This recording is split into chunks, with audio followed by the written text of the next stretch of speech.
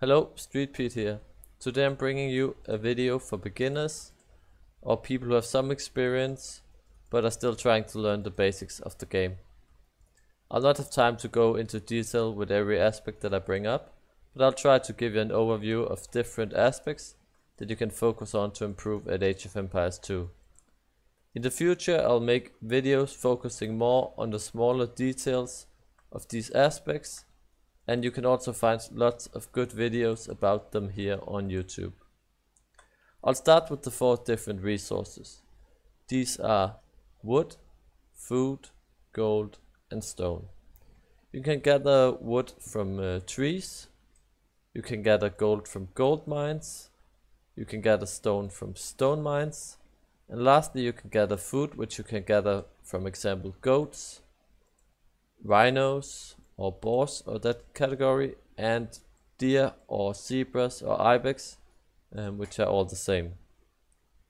Each resource can be used for building units or technologies or buildings. One of the most important technology in the game uh, are the aging up technologies. You can age up to four different ages. We have the Dark Age, which is the one we start in, then there's the Feudal Age, the Castle Age and the Imperial Age. Each new age unlocks new buildings, units and technologies. To advance from the Dark Age to the Feudal Age, you'll need 500 food, which you can see up here. Then you also need two buildings um, from the Dark Age. And the buildings from the Dark Age are the lumber camp, the mining camp, the dock the barracks and the mill. To advance from the feudal age to castle age, you'll need 800 food, 200 gold and two feudal age buildings.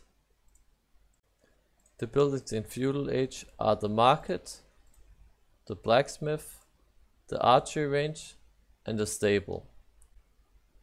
To advance to the imperial age you need also two buildings which can be the siege workshop the university, or the monastery. Alternatively, you can just do one building if you do the castle. And then you also need to get 1000 food and 800 gold to be able to click up to Imperial Age. Going through these different ages, I have also mentioned most of the buildings in the game. An important one that I haven't mentioned is the town center. Town centers can help you create villages and villages help you getting more resources and you can use those resources for units, buildings and technologies.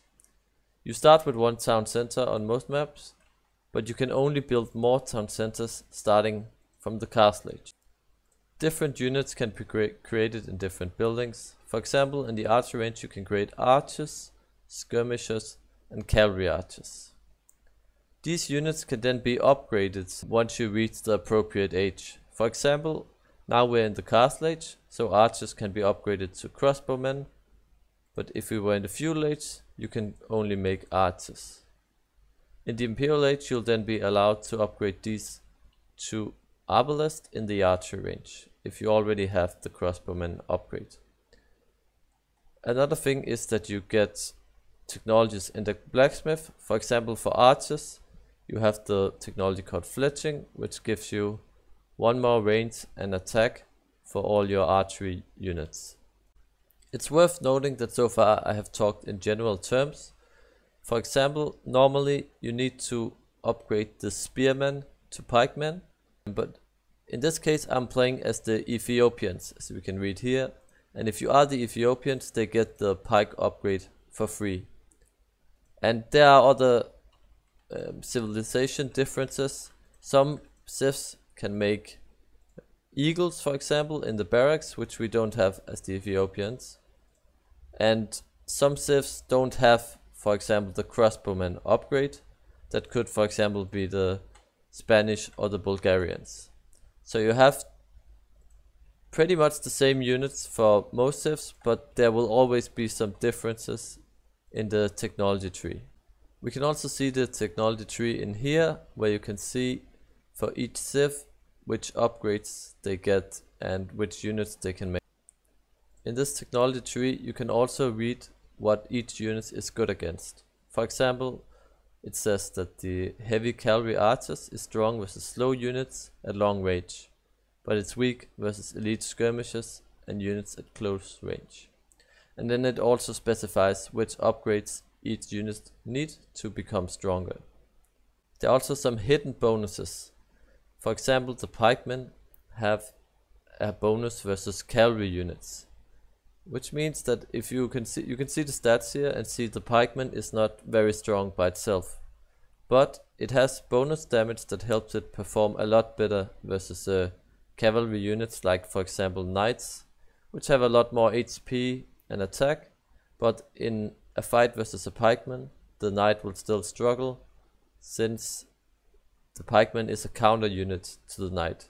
And in general you always have to take into account what are counter units to each other. Sometimes it's pretty clear, sometimes you need to have experience with the different units to really be able to tell, because there are hidden bonus uh, damage that you don't always know about. I've gone over some of the different aspects that can help you as a player. One thing that's also worth to know about is the fact that you can set your own hotkeys. To do this, you click on this cogwheel from the main menu and you click on options and then, you go to the one to the far right and it says hotkeys. This one you can make your own hotkeys or see the hotkeys that the game has for you right now. To change one, for example, if you want to be able to create villages with a different key, you click on villager and then change selected. I have mine as A for example, since that's an easy accessible one and villagers are one of the units that I am making the most and I'm making them every game. In general you want to set up your hotkeys so that the units or buildings or technologies that you need the most are the keys that are the easiest accessible. To give you an example of this, I'll show you here in game. If I press E and B, I can create a barracks. If I press E and Q, then I can create a house. These are pretty fast keys to access because my hand is close um, to the left side of the keyboard. And same goes for example farm is E and F which is also something that's close. I have chosen the most important things, like I said before, to be where my hand is.